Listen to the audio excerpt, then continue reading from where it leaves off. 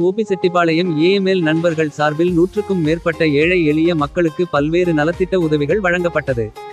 கோபிசெட்டிபாளையம் பகுதியில் செயல்பட்டு வரும் ஏஎம்எல் நண்பர்கள் அணியின் உறுப்பினர்கள் சார்பில் ஏழை எளிய மக்களுக்கு பல்வேறு நலத்திட்ட உதவிகளை வழங்கி வருகின்றனர். அதன் தொடர்ச்சியாக தீபாவளி பண்டிகையை முன்னிட்டு நூற்றுக்கும் மேற்பட்ட குடும்பங்களுக்கு ஏஎல்எம் அணித்தலைவர் தலைவர் கணேசன் தலைமையில் நலத்திட்ட உதவிகள் வழங்கும் நிகழ்ச்சி கோகுலம் கார்டன் பகுதியில் நடைபெற்றது.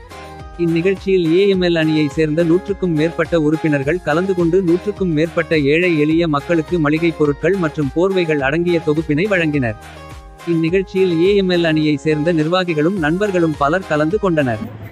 கோபி செட்டிபாளையம் ஏஎம்எல் தொள்ளாயிரத்தி தொண்ணூற்றி எட்டு அணி என்று ஒன்று நாங்கள் உருவாக்கி ஏழை எளிய மக்களுக்கு ஒவ்வொரு பண்டிகையின் போதும் ஏதாவது ஒன்று வழங்க முடிவு செய்து நாங்கள் இந்த தீபாவளிக்கு சுமார் நூறுக்கும் மேற்பட்ட குடும்பங்களுக்கு போர்வைகளும் ஒரு ஆறு வகையான உணவுப் பொருட்களும் வழங்க வழங்கினோம். இன்னும் பல குடும்பங்கள் பல பண்டிகைகளுக்கு பல குடும்பங்களுக்கு நாங்கள் உதவி செய்ய எங்கள் தொள்ளாயிரத்தி தொண்ணூற்றி எட்டு அணியின் சார்பாக நாங்கள் மேற்கொண்டு பணிகள் இன்னும் சிறக்க நாங்கள் மேன்மேலும் உழைத்து மக்களுக்காக இன்னும் நிறைய உதவிகள் செய்வோம்.